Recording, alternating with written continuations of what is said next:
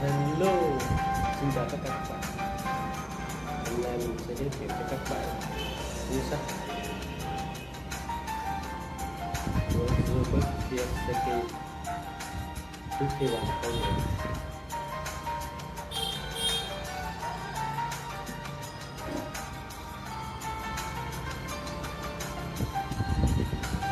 Đây là bộ sách bao gồm nhiều ba tập Hôm nay mình làm tới tập thứ 10 giúp ích cho người đọc tìm hiểu thêm về kiến thức.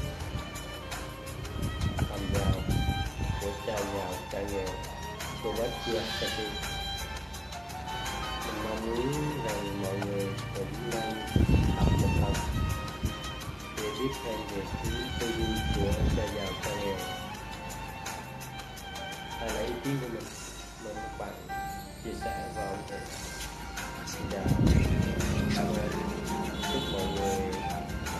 Chúc mọi người